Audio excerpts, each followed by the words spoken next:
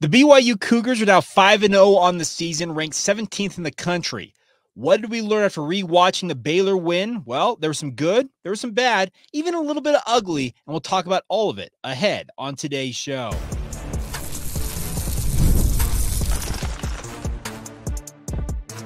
You are Locked On Cougars, your daily podcast on the BYU Cougars, part of the Locked On Podcast Network, your team every day. What is up, everybody? I'm Jake Hatch, your host here on Locked On Cougars, resident BYU insider. Thank you for making Locked On Cougars your first view or listen of the day. And of course, as we like to say, thank you to all of you who are everydayers right here on your original daily podcast focused on the BYU Cougars. Today's show is brought to you by our friends over at FanDuel. Go to fanduel.com right now, place your first bet, $5 bet, excuse me, and get $200 in bonus bets. $5 bet, $200 in bonus bets guaranteed courtesy of our friends at FanDuel. Go to fanduel.com to get started today. All right, let's dive right in on today's show. BYU is now 5 and 0. And if you saw in the national polls yesterday, BYU in the AP top 25 poll rose to number 17, one spot in front of the University of Utah. Yes, the Utes are behind the Cougars in the national polls. So feel free to stick it to your fellow neighbors and friends who may be Utah fans. They got uh pretty thoroughly beaten, it felt like, by Arizona on Saturday night. I actually have plans to go back and rewatch that game in its entirety to get a feel more of what BYU should expect when they take on Arizona a week from Saturday, but we'll get to that later on in this bye week. But the bigger thing for BYU is, is they are a top 20 team and riding high, and they should be because I say it on this podcast, and somebody got after me, by the way, after the postcast where I came down a little bit hard, you felt like on BYU's offense in the second half of this Baylor game, and said that I was a little too harsh on them. Maybe I was, but as I said in that podcast, and I'll reiterate here, good teams find ways to win. Guess what? BYU's 5 and 0. They are a good team. They are finding ways to win. They have found multiple ways to win games. This game against Baylor it got shaky multiple times in that second half, but credit to BYU. They bowed up and did exactly what they needed to do in big moments to get the W. Once again, that's the mark of what I consider to be a good football team. It's a top 20 team, and there's no reason that BYU shouldn't be uh, a top 20 team. In fact, uh, they are a team that should be feeling very, very good about themselves. And I assume that they are feeling good about themselves, no matter what any of us out in the uh, outside world may say about them. Let's start on the positive front. What did I take away after rewatching BYU in that game against Baylor? Number one, Jake Retzlaff was really, really good in that first half. I would say it's his best half of football of the season. I think we're still waiting on him to put together what I would consider a seminal performance, kind of a, a full 60 minute virtuoso type uh, deal where he goes out and just makes it look perfect. It's not there yet, but I think we forget that Jake still has not started double digit games in his collegiate career at the FBS level or now Power Four level. And in fact, he has faced probably stiffer competition in the nine games he's played to this point. He will now be uh, facing off against Oak, uh, Oklahoma State. That's two weeks out. Uh, Arizona in his 10th career start. I would say that his nine starts to date are the toughest nine games any BYU quarterback has ever faced in terms of competition level. I you can argue with me on that, but I really do think he has faced the toughest slate of games of any first-time starter for BYU. And I still think we're seeing him get better and better. Saturday's first half, he was absolutely electric.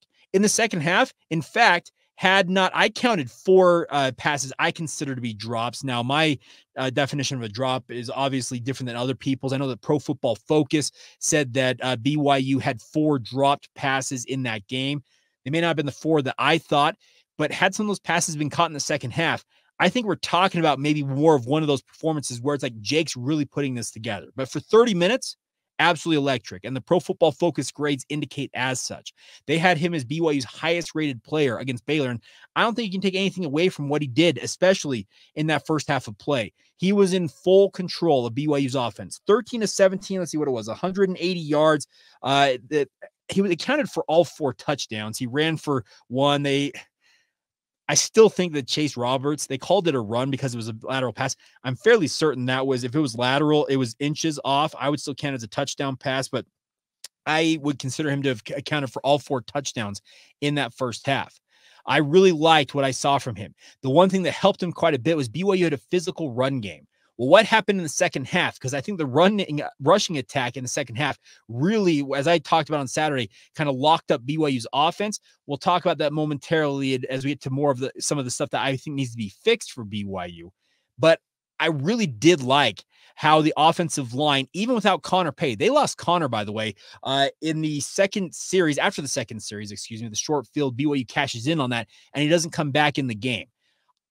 Looking at the film, it looks like he got injured earlier on in the game. I believe it was uh, on a, it was a play that like a three yard pickup where you can kind of see him get uh, in a way kind of it wasn't rolled up on, but that kind of rolls into him, and it felt like he was limping from that point. Now, all of you are probably Jake, well, what have you heard from Connie? I'm sure you talked to him. He's not said a word to me. He's still planning on coming on the podcast. I don't know what he plans to say, if he plans to address it at all, but stay tuned for that uh, later on this week, and maybe as soon as tomorrow, if schedules uh, permit. But looking forward to that. But losing him, it felt like BYU was going to struggle, and they did eventually. But for the first half, BYU's rushing attack I thought was very, very good, and it allowed Jake Retzlaff to really operate when he was at his best. And when what that is is he's very good in play action. You allow BYU's rushing attack to suck up those linebackers, and Jake can just kind of turn around and sling it over their heads it's absolutely electric how good BYU's offense can be at that point. I think the full, the maybe the best indication of that. Remember that 44 yard touchdown pass to Darius Lassiter. That was play action. Jake uh, fakes the handoff, turns around, uncorks a dime to Darius Lassiter, 44 yards. He's in the end zone and putting it right over his shoulder in, in front of the defender. It was really, really well done. And I think that's some of the best we have seen from Jake Retzlaff in the offense. Uh, other things I liked in this, I really liked how Enoch Nawahine runs the football. He doesn't have the same type of wiggle as the term I like to use with regards to like LJ Martin, even maybe a Pokai Haunga, where they can go a little more lateral and uh, kind of make sidestep guys. But what I love about Enoch is what he maybe lacks in that quote unquote wiggle is he makes up for it with just hard nosed north south running. And you need guys like that. You need guys when you have a third and one, you need somebody just come downhill and be a battering ram. He can be that. I really like that about Enoch Nawahine. I think his role with this BYU offense, planning on a guy like LJ Martin coming back after the bye, I think that role will be very uh, useful for a guy like Enoch Nawahine to fill in for BYU. They need that guy like that. Defensively, real quick, I really liked overall how BYU performed in this game. I know they gave up a ton of yards through the year.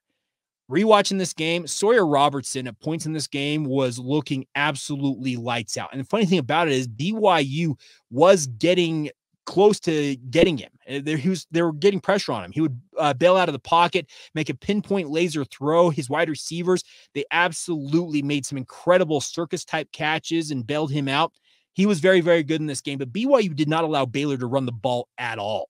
They bottled it up. It was really, really fun to see how good the rush defense was. And in fact, I missed it watching the game live, but rewatching it, Tyler Batty had one of his finest performances for BYU in that game. I know he had the sack, obviously one of three that BYU had in the game, but it felt like had things uh, played out a little differently, he may have had two or three in this game. And I know after that sack, it looked like he said something uh, to the to Sawyer Robertson.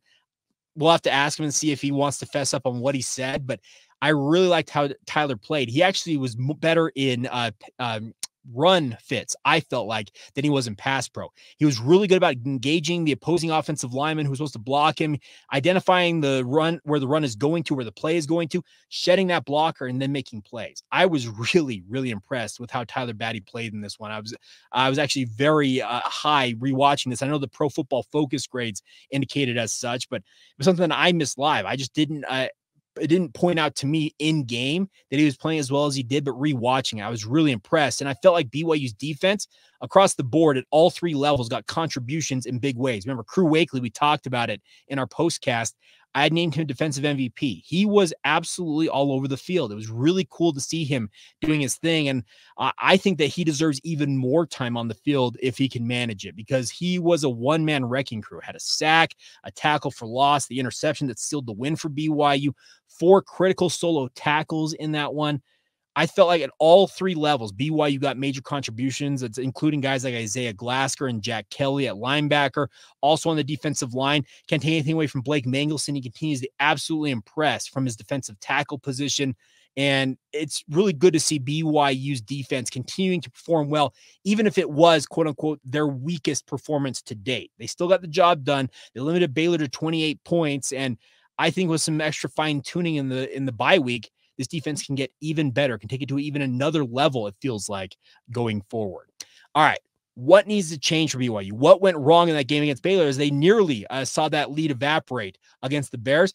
Well, there's two or three things that stood out to me rewatching this game. Some of them are holdovers from Saturday that I talked about, but one in particular, rewatching this game became absolutely glaringly obvious to me. And we'll dig into that next, right here on Locked On Cougars. Today's show is brought to you by our friends over at FanDuel. NFL fans, my friends, you can have some fun this season with a big return with our friends at FanDuel. They are America's number one sports book, after all. Now, if you're not even an NFL fan, you want to take advantage of NHL opportunities, NBA, college football, they've got it all for you guys. The one thing I can say about what FanDuel is, is they got an app that is super simple and easy to use, and it's very straightforward. So when you get a hunch in the middle of a game you're watching, you can check out the latest stats, if you live play by play, and so much more on the same page where you place your bets and do it with our friends at FanDuel. And of course, you'll get started with $200 in bonus bets guaranteed when you place your first $5 bet. Think about that $200 in bonus bets guaranteed. Place a $5 bet. It's as simple as that, my friends. Go to fanduel.com to get started today. That's fanduel.com. They are, once again, America's number one sports book. Thank you once again for making Locked On Cougars your first view and or listen of the day. If you have not done so already, check out the Locked On College Football podcast. Spencer McLaughlin's doing an incredible job covering the overall uh, universe of college uh, college football out there. He's covering everything. It really feels like he's doing an incredible job. If you want kind of a 30,000 foot view of what's going on in the college football universe, check out Locked On College Football. It's part of the Locked On Podcast Network. Your team every day. All right, rewatching this game against Baylor once again, BYU gets the win, but it wasn't without weaknesses that showed up and not showing up obviously after the fact as I rewatched this game. The one major thing I feel like that BYU struggled with, and this is kind of why I think BYU's offense, as I said on Saturday, went into a clamshell, is that Baylor in the second half they decided to pack the box. They decided, you know what, BYU's not going to gouge us on these running plays and set themselves up for uh, shots over the top in play action. They brought a seventh and maybe an eighth man at different points, if you rewatch the tape, into the box and made it really, really tough for BYU to run the football. They were filling uh, gaps very nicely. Uh, they sent extra guys that BYU simply couldn't block in the run schemes. And to their credit, they made it very, very difficult for BYU's offensive line. I said earlier, I felt like the offensive line in the first half was very, very good. I think at halftime, Dave Aranda and the Baylor staff noticed that Sonny Makasini filling in at center for BYU, they decided to test him. And in the second half, it wasn't as good as it was in the first half. And I, like I said, it's more because they packed the box. They put seven and eight guys in there, and BYU was not able to get the push that they had in the first half against a lighter box, five and even six guys at different points the thing about Sonny Makasini is he was thrust into, I think, a no-win situation.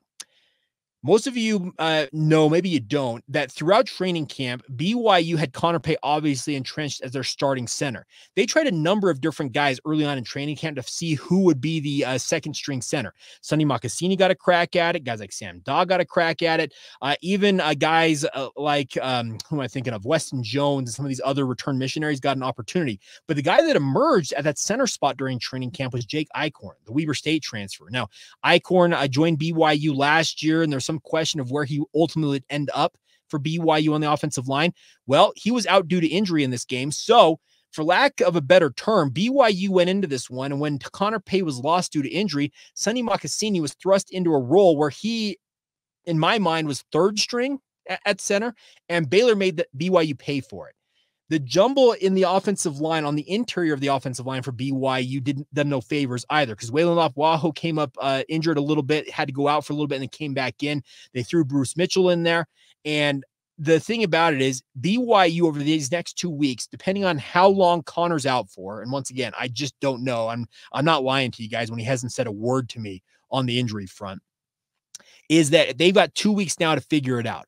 If Sonny Makasini is going to be the center, get him extra snaps, get him extra work because his snaps obviously were very low. And once again, I think he was thrown into a situation where all of a sudden it's like, hey, you got to get in there. You got to you got to play center when you're preparing all week to play guard. It's a different thing when you're out there having to make the calls, identify what they like to call the mic or the middle linebacker in terms of the scheme and how you're going to adjust to it for the rest of the offensive line. It was a really, really tough deal. And for however long Connor's out for, they have got to a either get Jake Eichorn back and get him entrenched there as the guy at center, or once again rework the interior. If that's Sonny Makasini at center, Bruce Mitchell, or Austin Leausa at right guard, and Wayne Lapo at left guard, you got to find the right combination of guys because BYU loves to run the inside zone running uh, concept. We hear all the time that BYU likes to run wide zone. Well, the other thing they like to run is called inside zone, and BYU's inside zone in the second half was abysmal. And it's nothing against, like I said, Sonny Makasini or the other interior offensive lineman. I think the shuffle because because of Connor Pay's loss, it caused BYU to struggle mightily. Had that inside zone gotten going for BYU like it was in the first half, I felt like they would have been actually very okay offensively. But when it gets blown up like that, it really shuts down everything else BYU tries to do. The few times BYU had success running the football in that second half was on option plays and wide zone. And we're talking going to the outside the tackle.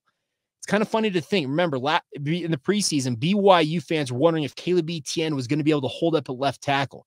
BYU's tackles, uh, Caleb Etienne and Brayden Keim, they are not the problem right now for BYU. It's the interior of the offensive line. And it's actually a really good time to have this bye week because if Connor's out for an extended period and fingers crossed, it's it's not as serious as I would hope it isn't. Um, that sound right? I'm just I'm just hoping it's not a serious injury. That's that's the long and short of it. But you got two weeks here to figure out what you're doing. You got to rework it and work some guys maybe into different positions. I really think that you're going to find an opportunity here over these next two weeks to find options on the interior of the O line. If you don't, well, guess what? People are going to watch that second half of what Baylor did against the interior BYU's offensive line, and they will attack it. They will make life miserable for BYU. And this could go back to more of what a running attack was last year, as opposed to what it's been at points this year, where it felt like it was really finally clicking and starting to come along. So uh, that's one glaring issue.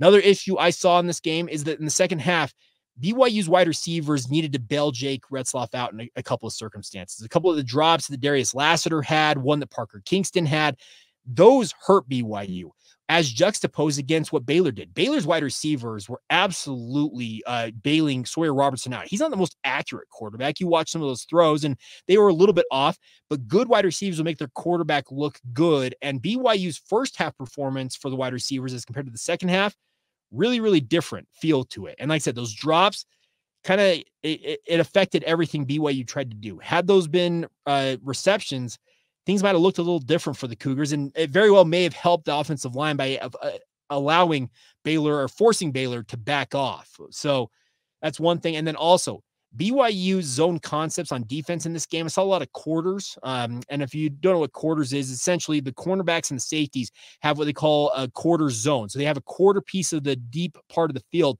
that they're supposed to cover. In those quarters, well, obviously you're waiting for wide receivers to come through that zone and you pick them up.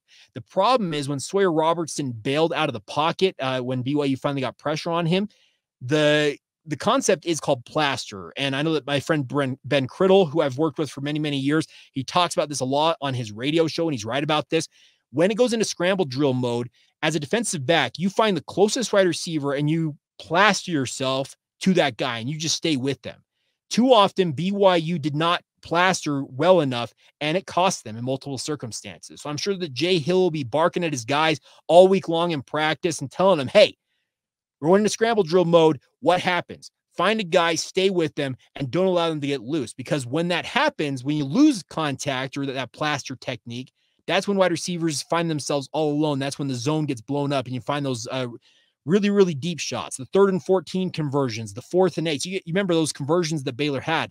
It felt like a lot of times when those came, became scramble drills, Sawyer Robertson bailed out. And for whatever reason, a wide receiver found himself uncovered, sat down in the zone, and he hit him for a big gain or hit him on the sideline for a big gain. And that that hurt BYU. So they got to be better about their plaster technique, it feels like. And I and if I'm seeing this, I, I, I say this all the time. I'm an amateur uh, film guy out there. I watch and I try and glean as much as I can.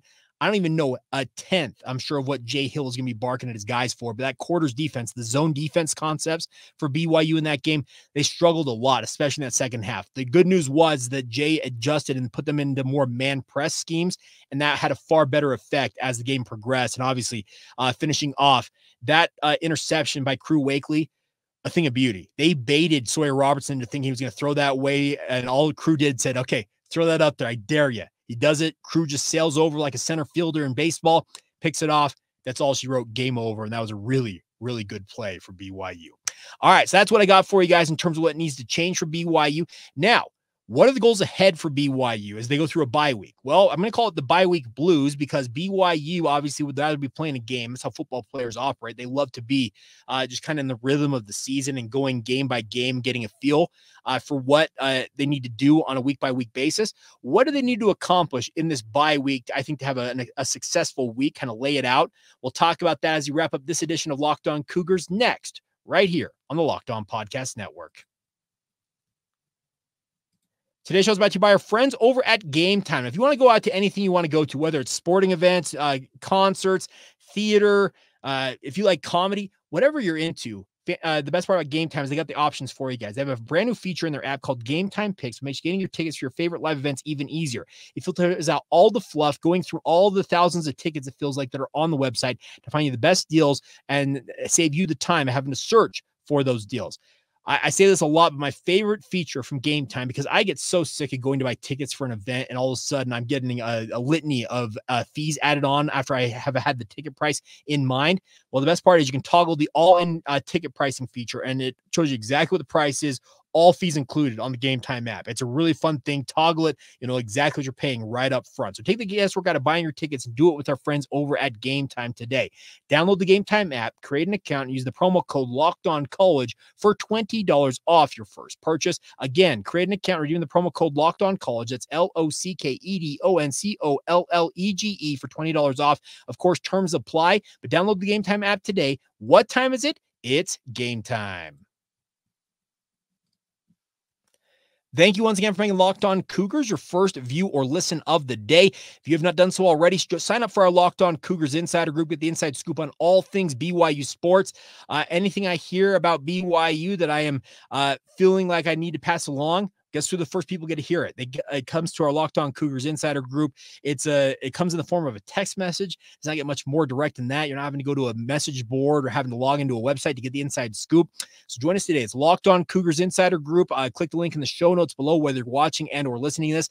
Join today, 14 day free trial, and hope you guys will be a member of the Insider group. That we already have a really strong uh, group of people already in there. So thank you for your support of those who are already there, and hopefully many more of you will be joining us in due time. All right. The week ahead for BYU is an important one because bye weeks are obviously critical for guys getting healthy. And we talked about it in the postcast edition of the show. Uh, the coming out of the Baylor game, I had a list darn near double digits in terms of guys who got injured, either were coming into that game injured against a uh, Baylor or got injured in the game and need time to heal up. Obviously, not all of the injuries are going to be, hey, one week, you're good to go, because that's just it's football, it's a violent sport. And let's address that just for a moment. I had a couple of people after I put that tweet out on our Locked On Cougars uh, Twitter account said that BYU, of course, leading the college football universe in injuries every single year. They're not leading. Uh, here's the thing injuries happen in every, I mean, every football program. It's a violent sport, everybody. And if you think that BYU is going to skate through a season without injuries, you're up in the you're up in the night. The nice part is a bye week arrived here for BYU where they can heal up a little bit. Remember, I was it two years ago that they had a bye week. The, finally, the bye week finally came like week 10 of the season, and it did no good. It was just a waste in many respects because that's so late in the season that guys have been kind of grinding through playing for two plus months on uh, bad knees, bad arms, bad shoulders, whatever they've got going on. At that point, it's tough. Five weeks in, BYU gets a much deserved rest this week. And I don't think BYU is atypical. And I, it takes some research to look at this and say, hey, hey, how many injuries does BYU have? And that's the thing about this is without standardized uh, re- injury reports out there in college football, it'd be a foolhardy thing to really try and track down. But I don't think BYU is atypical in terms of the amount of injuries. In fact, until the game against Baylor, BYU had been very, very injury free relative uh, to how they how t- physical of football they've been playing. Remember, BYU is the only 5 0 team who's beaten fe- uh, three fellow Power Four members in that 5 0 start. They have played hard nosed football essentially since the get go of the season. They have been facing some really, really stiff competition, and injuries did pile up against Baylor. The nice part is they were healthy pretty much all the way up to that point. Are these minor injuries? Are they going to affect BYU going forward? That remains to be determined, but you got a full essentially 14 days to get guys right ahead of that Arizona stretch. And then you got to go through three more games. Then you get another bye week and a rest before the final stretch run of the season. I actually really like how the byes have worked out, and especially considering the injuries BYU dealt with in that Baylor game, this will be a very, very nice break for them. Other things that need to be worked on. Like I said, you need to rework that interior of the offensive line. Find the best combination of three guys whether that's Weylin Lapuaho having to go from left guard to right guard, maybe uh, putting Bruce Mitchell out there at either guard spot, because at this point, I feel like Bruce is a starting uh, caliber offensive lineman for BYU. He has been very, very good since that start he had against Kansas State. Uh, does Austin Leausa come in? Does Jake Eichorn come back? You got to figure out what you're doing on the interior of the offensive line.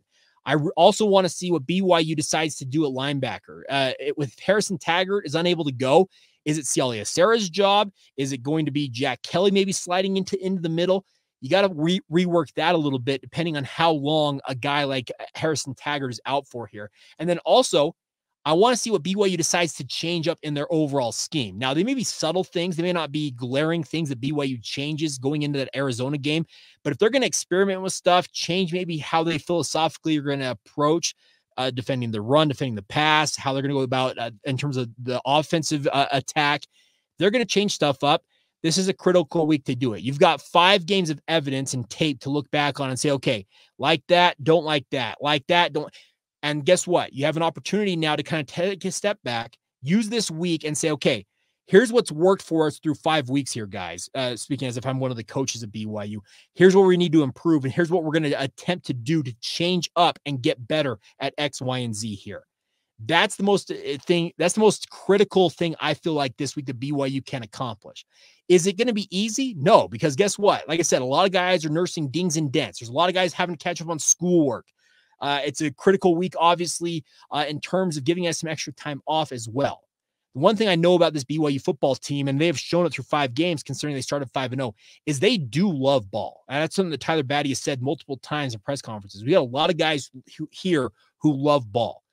I think they're excited to get to work. They're excited to put in the time, but they're also excited to have some downtime as well. They'll probably have the weekend off uh, with uh, general conference for the Church of Jesus Christ of Latter day Saints. I wouldn't be surprised on social media to see some of those photos pop up of those guys going up to general conference sessions over the weekend. But it, it is a critical time for BYU to get better here. You can't waste this week. Uh, I know that they won't because Kalani Sitake has already kind of set the message uh, post game against Baylor. He said that, hey, show up Monday. We're getting back to work. He was dissatisfied, I think, with how BYU performed overall against Baylor. And I'm sure he'll have plenty for BYU to work on. But this is a critical week. It's not a week you just take it off and say, hey, okay, guys, hit the training room, uh, talk to the uh, the physicians and let's get you guys all healed up. No, there's still work to be done. There's schemes to be reworked. There's lineups to be changed. There's a whole philosophical uh, element to this of okay, five games in, teams expect us to do this. How do we approach it differently so they can't attack us the same way that other teams have? It's a big week for BYU, and I'm fully expecting they will take full advantage of getting that work in because knowing what I know of this team and the work they've put in this offseason, they're not going to rest on their laurels. They're ecstatic to be 5 and 0. I can assure you of that. They're ecstatic to be ranked 17th in the country. And depending on how this weekend goes upcoming, they could be ranked 15th in the country when Arizona shows up at LaVell Edwards Stadium a week from Saturday. And that would be a, a really, really fun thing to have in BYU's back pocket. But I don't think this team is satisfied in any way, shape, or form with how they performed this year. Once again, they're a good team. They have found ways to win football games this year in spite of different circumstances that might have uh, caused them to lose games in the past. Well, can they take it to another level? And that's what this week is going to be, I think, a critical test of what BYU's got in the tank. Can they go out there, really show what they're made of, use this week effectively, and then hit the ground running once again when they get back into action next week against Arizona? Time will tell, but I think this is a team my read is they will be very intent on improving this week, and that should yield a better uh, product in theory against Arizona a week from Saturday. All right, that'll do it for this Monday edition of the podcast. Thank you once again to all of you who tune in every single day. We love to call you guys every dayers because you truly are the uh, the best and brightest out there because you're getting the scoop on all things BYU have got for you guys every single day. But as always, no matter when, if this is your first or your last uh, visit to the show, I appreciate all of you. Thank you for making your first listen of the day. And as always, this has been the Locked On Cougars podcast.